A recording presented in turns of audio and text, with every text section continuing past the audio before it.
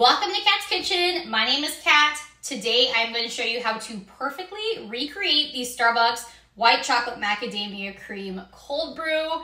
It's honestly so easy to make at home once you get the materials. It's easy, breezy, beautiful, cover. The things you're going to need. Number one, cold brew. You can make your own cold brew at home. I will link a video um, that shows three different ways you can make cold brew at home. Or you can go the easy route and just buy some store-bought cold brew. My all-time favorite is this Stok uh, Unsweet Black cold brew. It's in this greenish teal bottle.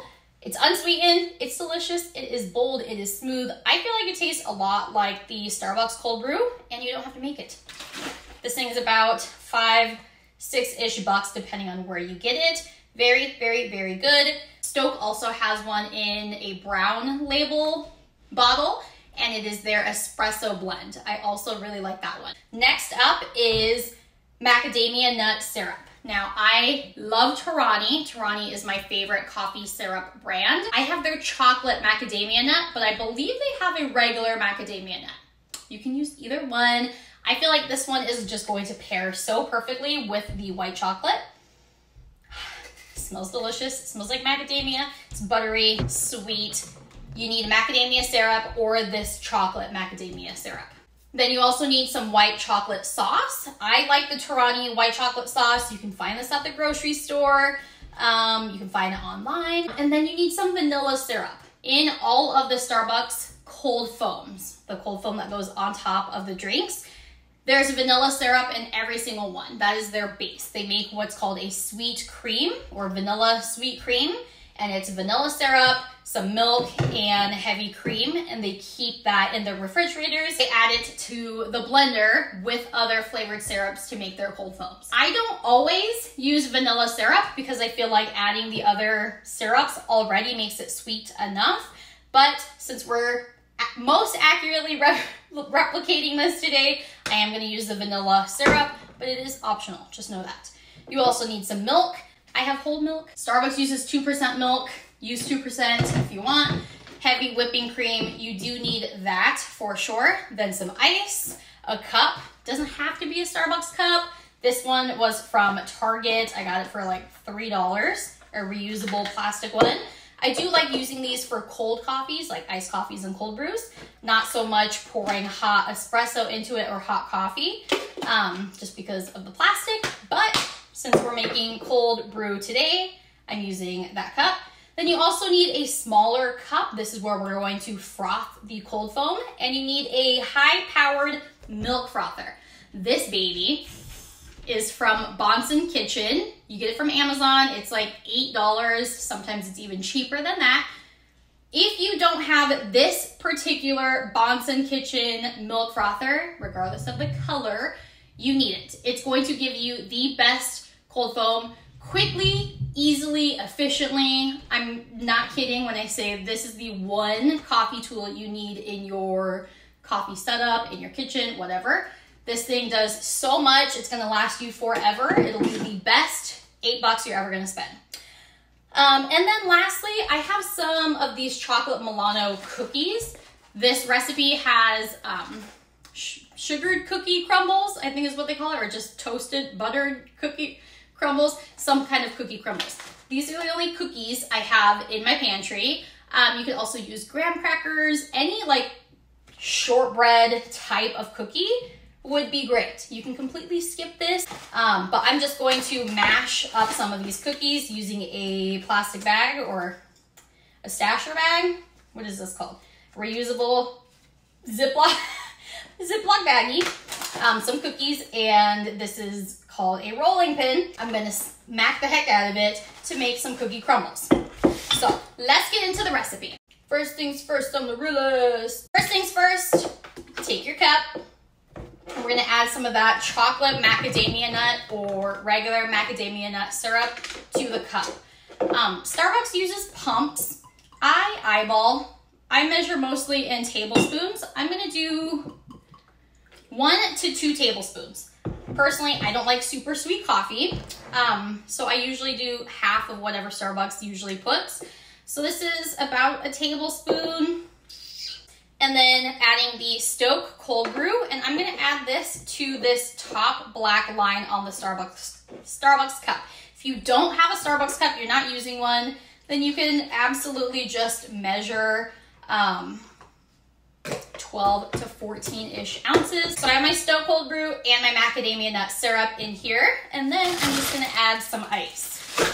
I don't use an ice machine. I have been buying just a bag of ice from Sonic because it's cheap, it's easy, and there's pebble ice, and they sell pebble ice. It's like three bucks a bag. Just gonna add that in. Do about three of these um, scoopies for this large of a cup. And then I don't want to fill it to the top because I am adding the cold foam. So set the ice aside. Little mix just to mix this up a bit.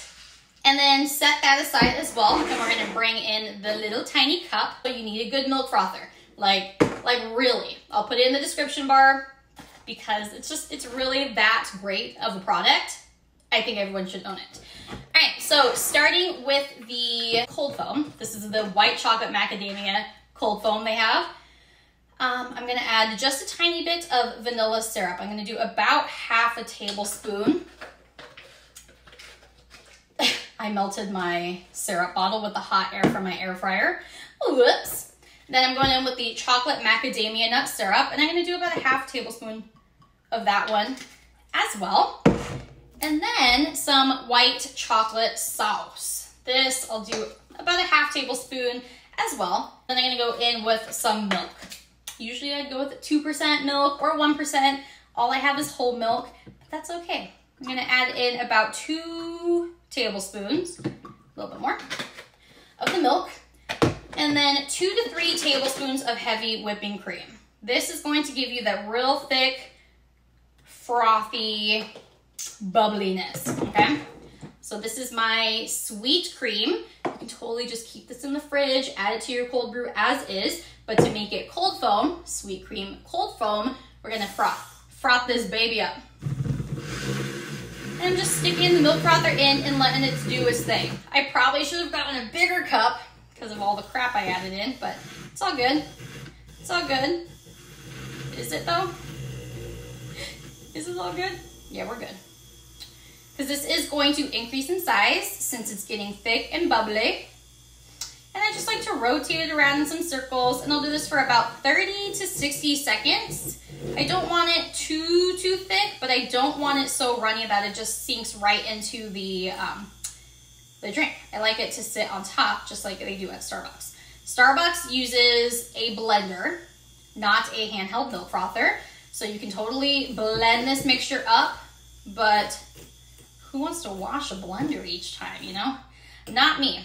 All right, you'll know it's done when it starts to get like a thick texture on top. I don't know the best way to describe that. Um, and then when you pull the mixture out or pull the milk frother out, it should stick to the, the milk frother even just a little bit. And if it's not, which mine's really not, Ooh, that's good. Um, I'm gonna add just a little bit more heavy whipping cream just to get it a little bit thicker. Hello, my darling. Hello, my baby. Da, da, da, da. Sing a song while you're at it. That's the song in my head today, Yes. All right, we're a little bit thicker. I'm gonna add the cold foam to my cold brew. Oh. Stunning. wow, that's good. Mm-hmm. Mm-hmm. All right, we're seeping in a little bit. It's okay. It's okay. Is it though? All right, I'm gonna take one of my cookies, put in the bag, and I'm just going to smash it to pieces.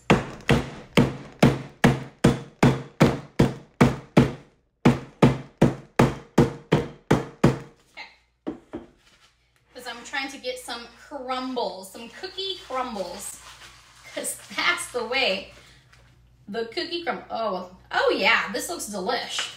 And then the chocolate is matching the chocolate macadamia nut. Cool. All right. Again, get any type of shortbread cookie. that you want.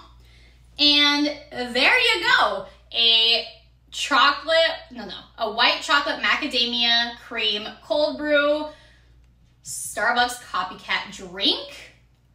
Um, yeah, looks delish. Let's give it a sip. Mm-hmm. Wowee. The heck? Mm-hmm.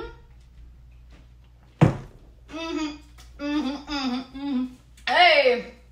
Um, yeah, that's really good. Wow, this is delish. 10 out of 10. Highly recommend. It was pretty easy to make. Oh, lastly, can't forget, put the lid and the straw, put it all in a JavaSok. These are little sleeves that keep your iced coffee colder longer and then your hand doesn't freeze off. Super cute, super fun, super easy, and honestly it tastes just like the Starbucks one. A little bit more chocolatey because I use chocolate macadamia nut instead of regular, but overall, 100 out of 10. Definitely will be making this again. Try it and let me know what you think. And I will see you next time.